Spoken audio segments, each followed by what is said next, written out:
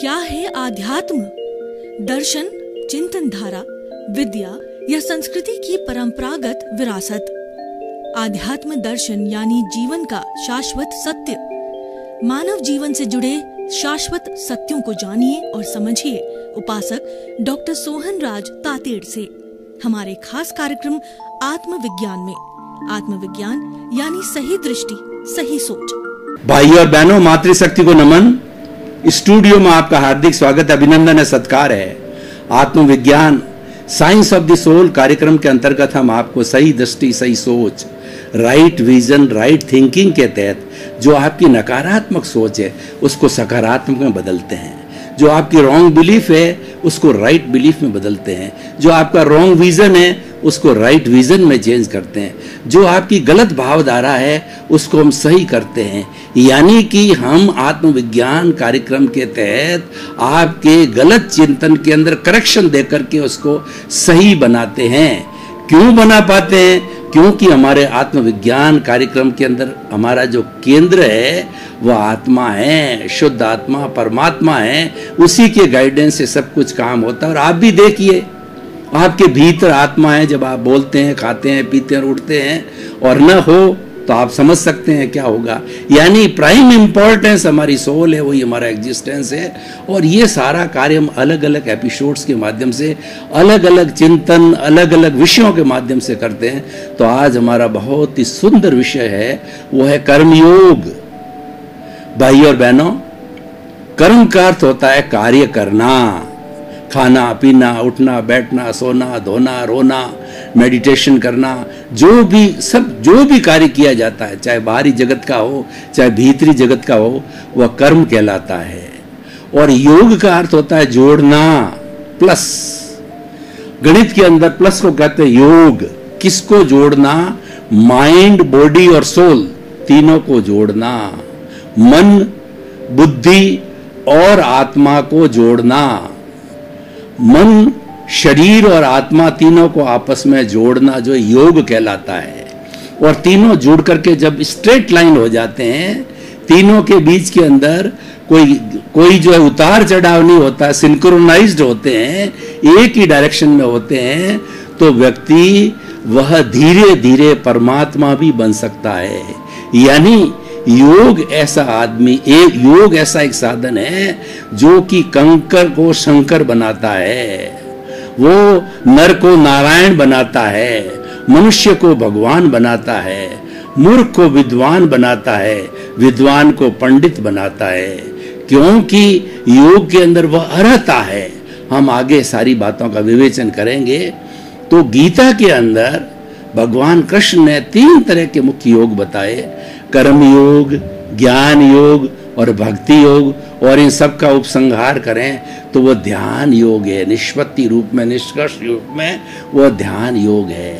तो कर्म हर क्षण, हर व्यक्ति, हर जीवित प्राणी कर्म करता ही रहता है। उसके जीवन, यानी जीवन जन्म से मृत्यु के बीच का जो समय होता है, वो जीवन कहलाता है। उस पूरे जीवन के अंदर ऐसा कोई क्षण नहीं आता है जीवित प्राणी का, जिसके अंदर कोई भी वो कार्य न करता हो। मनुष्य की बात मैं कहूँ कि मनुष्य अगर गहरी निद्रा में सोया हुआ है तो गहरी निद्रा में सोते उसका अवचेतन मन, उसका जो ल्यूमिनियस बॉडी और उसका जो है वो सब कॉन्शियस माइंड जागृत हो जाता है। जो ही व्यक्ति सोया और सब कॉन्शियस माइंड जागृत हो जाता है और वो जागृत होने पर वो हमने सपने दिखाता है। जो हमें स्वप्न आते हैं, वह जो हमारे अवचेतन मन की जागृति का परिणाम है। यानी कि सोने के समय भी व्यक्ति कर्म करता रहता है। कर्म के बिना व्यक्ति रह नहीं सकता और कर्म उसको करना ही पड़ेगा, क्योंकि पूर्व जन्म के अंदर वो कोज डाल के आया है और वो कोज के कारण जो इस जन्म के अंदर जो उसके कर्म बीज और कर्म फल है, वो प्रारब्ध है, उसको भोगना पड़ा, प्रारब्ध को भोगने के लिए कर्म करना पड़ता है। कर्म के तीन अंग होते हैं, मन, वचन और काया। जैन दर्शन में योग को मन, वचन, काया भी कहा जाता है। मन वचन काया की प्रवृत्ति को योग कहते हैं, क्योंकि हमारे इस शरीर के अंदर मुख्य जो काम करने वाले तीन घटक होते हैं।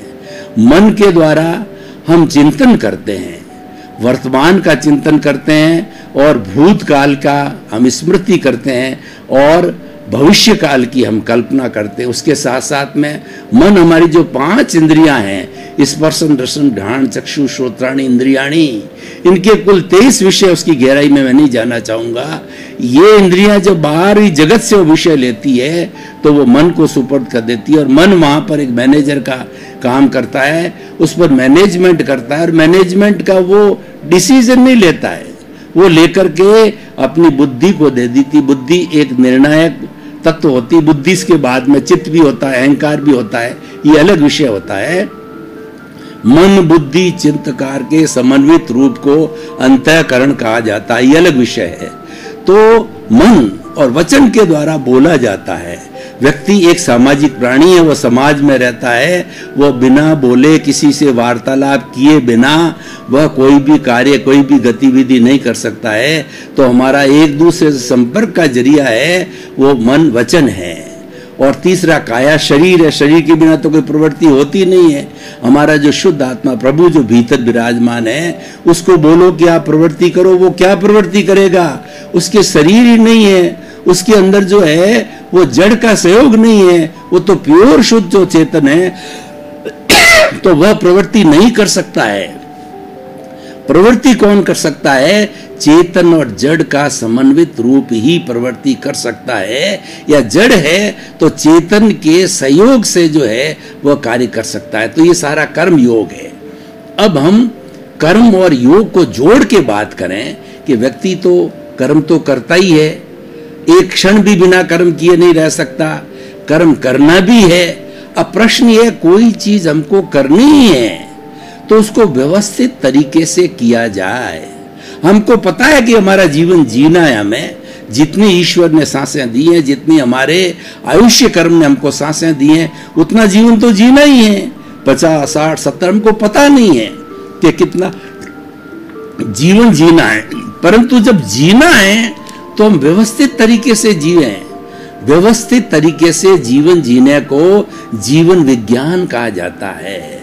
ये साइंस ऑफ़ लिविंग कहा जाता है। एक व्यक्ति तो क्या है कि अस्त व्यस्त रूप से जीवन जीता है। उसको पता ही नहीं है कि मनुष्य जीवन बहुत दुर्लभ है। जन्म ले लिया, खा लिया, पी लिया, उठ लिया, बैठ लिया, और इंद्रियों का भोग कर लिया। उसको पता ही नहीं कि मेरे जीवन का क्या लक्ष्य है। और यूँ मैं, मेरा करते करते जो है, एक दिन वह संसार से चला भी जाता है। लेकिन वो व्यवस्थित जीवन नहीं है। व्यवस्थित जीवन जीने की कला कर्म योग है। इसीलिए गीता में कहा गया है, कर्म सुकोशलम। कि योग को कर्म सुकोशलम कहा गया है कि मतलब योग वो होता है कि कुशल तरीके से कर्म किया जाए। कर्म को व्यवस्थित तरीके से किया जाए, कर्म को साइंस ऑफ़ लिविंग तरीके से किया जाए, और कर्म को एक सिस्टमेटिक तरीके से किया जाए, व्यवस्थित तरीके से किया जाए, हमारी लाइफ स्टाइल व्यवस्थित होती होनी चाहिए। हर चीज़ 24 घंटे 24 घंटे में एक एक मिनट का सदुपयोग होना चाहिए, वही सबसे बड़ा कर्म योग है। अब देखिए, कर्म हम कर रहे हैं, और योग उसके साथ जुड़ा हुआ है। जो हमारा माइंड बॉडी और सोल को जोड़ के रखना है, ये दोनों बातें हो गई है। लेकिन अब जो हम कर्म कर रहे हैं, वो व्यवस्थित कैसे होगा? वो निष्काम कर्म करने से वह व्यवस्थित होगा। भगवान कृष्ण ने गीता में कहा है कि तुम निष्काम कर्म करो। निष्काम कर्म करने वाला योगी होता है। निष्काम कर्म करने वाला स्थित प्रज्ञ होता है। निष्काम कर्म करने वाला प्रज्ञा चक्षु होता है। जो निष्काम कर्म का अर्थ क्या है कि काम तुम्हें करना है, करोगे ही और बाउंड हो करने के लिए, लेकिन कर्म के साथ में फल की इच्छा मत रखो। फल की इच्छा रहित होकर के जो कर्म करोगे, वह व्यवस्थित कर्म है और वही सबसे बड़ा कर्म योग है। उदाहरण के तौर पर मैं आपको बताऊँ कि व्यक्ति के भाग्य में ये लिखा हुआ है कि मुझे जो है एक अच्छा नेता बनना है अच्छा समाज सेवक बनना है। उसका पुण्योदय भी है, उसका पुरुषार्थ भी है और पुरुषार्थ करते करते वह जो है अच्छा एक समाज सेवक बन जाता है, एमएलए, एमपी तक भी बन जाता है। अब अब अगर वो ये चिंतन करे कर्म योग ये कहे कि मुझे जो है, ये सेवा का मौका मिला, मुझे केवल सेवा करनी है, और इस फल के साथ के अंदर वो नेता बनता है, एमएलए, एमपी बनता है, कि मुझे तो स्टेट मिनिस्टर बनना है, मुझे तो सेंट्रल मिनिस्टर बनना है, मुझे तो जो है मुख्यमंत्री बनना है, प्रधानमंत्री बनाना है, भारत का राष्ट्रपति बनना है। यानी कोई न कोई फल की इच्छा करके वो कर्म करता है तो कर्म दूषित हो जाता, वो निष्काम कर्म नहीं होता है। उसके एडवांटेज डिसएडवांटेज क्या है? कि मान लीजिए कि आपने कोई चिंतन किया कि मुझे मिनिस्टर बनना है और आपका भाग्य साथ दे, पुरुषार्थ आप कर रहे हो, काल स्वभाव, कर्म, पुरुषार्थ, नियति, द्रव्य क्षेत्र, काल और भाव है। ये सारे घटक जो है साइंटिफिक सर्कमस्टेंशियल एविडेंसेज जो व्यवस्थित शक्ति आपसे करा हुआ आप बन भी सकते हो। लेकिन हर व्यक्ति मिनिस्टर नहीं बन सकता। और वह अगर जो है फल की इच्छा कर लेता है कि मुझे बनना ही है तो जब नहीं बनता है, वो बड़ा क्रिटिकल पॉइंट आता है कि नहीं बनने की स्थिति के अंदर वो डिप्रेशन के अंदर चला जाता है। नकारात्मक भावों से ग्रसित हो जाता है और ऐसे ऐसे लोग देखे गए हैं, उस पीरियड के अंदर उनको सही गाइडेंस नहीं मिले, सही जो है दिशा देने वाला परामर्शक नहीं मिले तो सुसाइड तक कर देते हैं। बहुत से ऐसे बड़े बड़े लोग हैं, उनको सुसाइड करते देखा। बहुत बड़े कंपटीशन में बैठने वाले स्टूडेंट्स होते हैं, जो कि फल की इच्छा लेने के साथ में कंपटीशन में बैठते हैं कि मुझे तो आईएएस बनना ही है। मुझे आर एस तो बनना ही है, मुझे जो है आर जे एस तो बनना ही है, और जब नहीं बन पाता है तो वो अपने आप को धिक्कारता है, ग्लानी से भर जाता है और सुसाइड तक कर लेता है। ये उसका सबसे बड़ा डिसएडवांटेज है।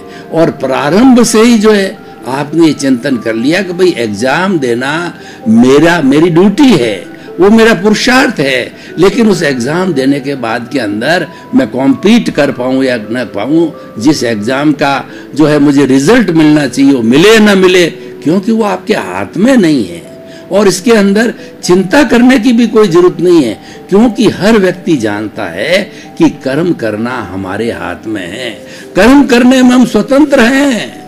लेकिन उसका रिज़ल्ट प्राप्त करने में हम प्रतंत्र हैं तो हम उसकी वांछा क्यों करें? उसकी इच्छा क्यों करें? उसकी लालसा क्यों रखें? तो इसीलिए जो है, कहा गया है कि जो है मतलब शहनशाह कौन होते हैं?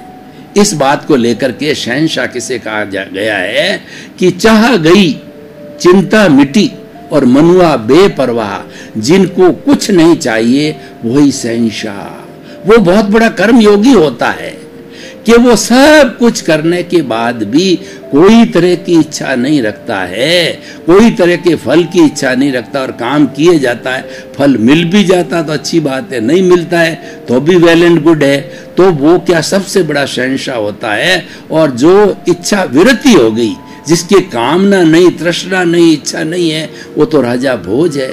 वो तो सबसे बड़ा संतुष्ट व्यक्ति इसके जीवन में। तो संतुष्टि कब आती है? संतुष्टि आती है निष्काम कर्म करने से।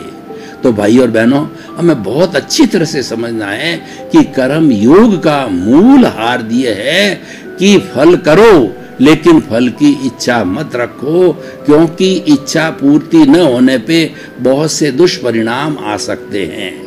अब भाई और बहनों, हम थोड़ा इस पर दृष्टिपात करें कि निष्काम कर्म की थ्योरी अगर हम अपने जीवन में अडॉप्ट करें, अगर जब से हमको होश आए और जब से हम काम को संभालें और निष्काम कर्म की थ्योरी करें तो क्या होगा?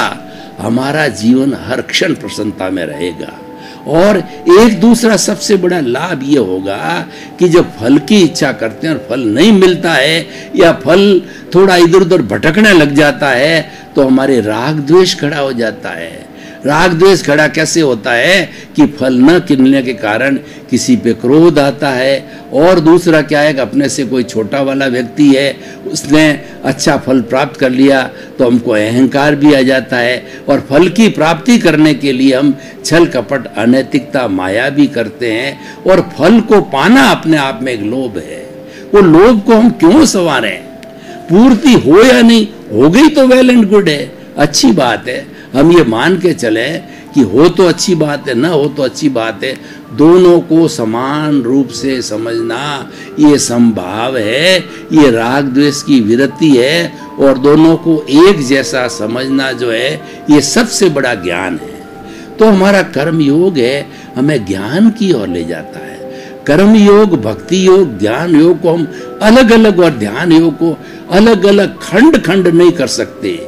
ये एक दूसरे के पूरक है, एक दूसरे से मिले हुए हैं, एक दूसरे को सपोर्ट करते हैं, जब भी ये होलिस्टिक बनते हैं। तो कर्म योग जो है होलिस्टिक कब है? जबकि उसके साथ में ज्ञान योग, भक्ति योग और ध्यान योग होता है। तो भाई और बहनों, जो भगवान कृष्ण ने जो 18 दिन तक कुरुक्षेत्र के अंदर धर्म युद्ध चला महाभारत का तो 18 दिन प्रत्येक दिन जो है अर्जुन को अलग अलग शिक्षा दी कि तुम निष्काम कर्म करो, तुम करता नहीं हो, ये अर्जुन शरीर है, वो जड़ मात्र है, लेकिन इसके भीतर जो बैठा है, वो मूल स्वरूप है और कृष्ण भगवान ने अर्जुन को अपना मूल व्यक्तित्व विराट स्वरूप भी बताया तो उससे मालूम पड़ा कि अर्जुन को कि कितने बड़े विराट स्वरूप वाले भगवान कृष्ण मेरे सारथी है। वो कोई सामान्य व्यक्ति नहीं है, वो तो विराट स्वरूप वाले हैं। तो उन्होंने कहा तुम भी वही विराट स्वरूप है तो तेरे भीतर भी वही है जो मेरे भीतर है। लेकिन तू जो ये कर्म कर रहा है, निष्काम कर्म कर रहा है, और तेरी तो ड्यूटी मान के कर रहा है, ये कर्तव्य मान के कर रहा है, तुमने युद्ध किसी पर थोपा नहीं, युद्ध के लिए किसी को ललकारा नहीं, युद्ध की पहल नहीं की है, तुम्हारे बहुत कुछ शांति संदेश देने के बाद कृष्ण भगवान शांति दूत बन के गए, लेकिन फिर भी युद्ध नहीं टला। तो जब कोई भी युद्ध हो गया तो क्षत्रिय को पीठ नहीं दिखानी चाहिए, इसलिए तुम अपने कर्तव्य का पालन कर। और निष्काम कर्म किए जा, फल की इच्छा मत कर। और जो है, ये मानो कि युद्ध तो ये कर रहा है, ये अर्जुन रूपी पुतला कर रहा है। लेकिन भीतर जो परमात्मा है, वह अलग है और ये शरीर अलग है। यानी अकर्ता भाव से करो। और ये अकर्ता भाव और अमालिकी भाव, ये दोनों ऐसे तत्व हैं कि व्यक्ति को महान बनाते हैं और कर्ता भाव ही सबसे बड़ा अज्ञान है। कर्ता भाव ही सबसे कर्म बंधन का कारण है। हमारी आत्मा जो जन्म जन्मांतर के अंदर, वह चौरासी लाख जीवा योनि में भटकती है, वो सब का सबसे बड़ा कारण अज्ञान है, अविद्या है। और इसको कई कई नामों से अलग अलग धर्मों ने पुकारा है, लेकिन उस ज्ञान को मिटाने के लिए ज्ञान रूपी दीपक जगाना पड़ेगा, तब अज्ञान रूपी अंधकार मिटेगा, और ज्ञान है वो निष्काम कर्म है। तो इसलिए भाई और बहनों, हम खास तौर से हमारे देश के अंदर साठ, सत्तर करोड़ युवा है, और वो युवा इस राष्ट्र के निर्माता है। उन्हें अपने जीवन को ढालना है, उन्हें अपने जीवन की प्लानिंग करनी है तो मैं आपको इस एपिसोड के माध्यम से कहना चाहूँगा कि कर्म योग का निष्काम कर्म एक ऐसा सिद्धांत है कि आप इसको जीवन का अंग बना लें, इसको आत्मसात कर दें, हृदयंगम करें तो आपको किसी तरह की तकलीफ़ नहीं आएगी। आप स्वस्थ रहेंगे और व्यस्त रहेंगे और मस्त रहेंगे। व्यस्त क्यों रहेंगे कि आपको कर्म करना है? और स्वस्थ क्यों रहेंगे कि आपकी कामना खत्म हो गई? परिणाम क्या आएगा, नहीं आएगा? वो आपो समाप्त हो गई है। और जो आप व्यस्त रहोगे और मस्त इसीलिए रहोगे, प्रसन्न इसीलिए रहोगे कि आपको तो केवल कर्म ही करना है, फल की इच्छा नहीं रखनी है। तो भाई और बहनों कर्म योग को व्यवस्थित बनाने के लिए निष्काम कर्म करो। और हम कुछ इस कर्म योग को और अच्छी तरह से खोल के करें कि कर्म मनुष्य के हाथ में वो करने में स्वतंत्र है। लेकिन जो उसके जो परिणाम हैं वो परिणाम में वो प्रतंत्र है। इसीलिए परिणाम की इच्छा नहीं करना और परिणाम कोई भी मिल गए हैं, उसकी भी, उसको भी वो भोग है। जैसे कि हम इस जन्म के अंदर जो जो हमारा जीवन यापन कर रहे हैं, ये पूर्व जन्म के कर्मों का परिणाम है, ये रिज़ल्ट है, इसको बदलने की कोशिश नहीं करनी चाहिए।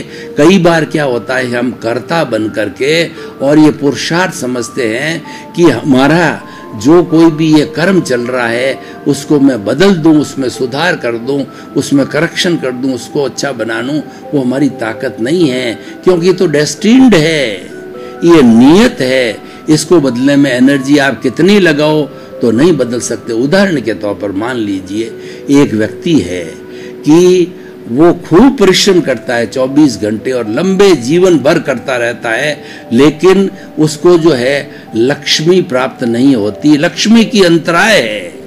और दूसरा एक व्यक्ति है कि वह रेत में हाथ डालता है तो सोना हो जाता है। कोई भी चीज़ खरीदता है, कोई भी शेयर लेता है, कोई भी प्रॉपर्टी लेता है और कोई भी काम करता है, कई गुना उसको लाभ हो जाता है, घर बैठे लाभ हो जाता है, क्योंकि उसके जो है लक्ष्मी का अंतराय नहीं है और तो वो अपना अपना परिणाम है। ये उसका परिणाम है, ये उसका परिणाम है तो आप इसको बदलने की कोशिश क्यों करो? ये तो देखिए, परिणाम दो ही होते हैं। या तो पुण्योदय होता है या पापोदय होता है। और वो नियत है। वो आपको भुगतना ही पड़ेगा। वो तो आपका व्यवहार है। और ये शरीर पूर्व जन्म के कर्मों के भुगतान के लिए मिला है। तो जब शरीर उस लिए मिला है और वो आपको करना ही है, वो करने के बाद ही आप फ्री हो सकते हो, आप बाउंड हो। तो फिर उसकी चिंता क्यों कर रहे हो? और उसमें समय क्यों लगा रहे हो? क्योंकि वो तो व्यवस्थित शक्ति के अधीन है।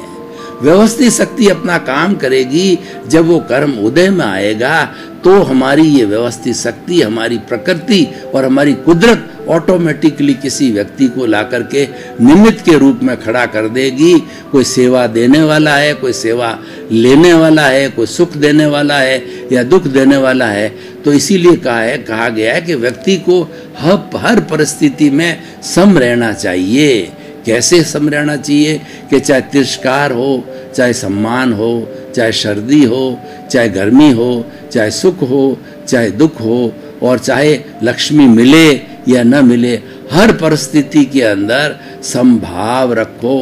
उन दोनों को एक सा समझो। जब हम एक सा समझेंगे तो हमारी नया राग द्वेष नहीं पैदा होगा, और नया राग द्वेष नहीं पैदा होगा तो नए कॉज नहीं पड़ेंगे, और जब नए कॉज नहीं पड़ेंगे तो हमारा कॉजल बॉडी नहीं बनेगा, इसलिए कहा गया है, ये सब भावों का खेल है। भाई और बहनों, आपका बहुत बहुत धन्यवाद। आप हमारा आत्मविज्ञान कार्यक्रम बराबर देख रहे हो और देखते रहिए, आत्मविज्ञान कार्यक्रम इंसान को अच्छा इंसान बनाने की प्रक्रिया है, विधि है प्रयोग है, ये हम थ्योरी और एक्शन दोनों एक साथ करके बताते हैं और हमारे पास केवल एक ही सिद्धांत है कि नकारात्मक सोच को सकारात्मक में बदलो, उसके कई कई प्रयोग है, कई फॉर्मूले हैं, कई सूत्र है उसके माध्यम से हम इसका जो है दृष्टि परिवर्तन करते हैं। इसी का नाम दृष्टि विज्ञान है। इसी क्रम में आपका जीवन आनंदमय हो, मंगलमय हो। आपके प्रति बहुत बहुत शुभकामना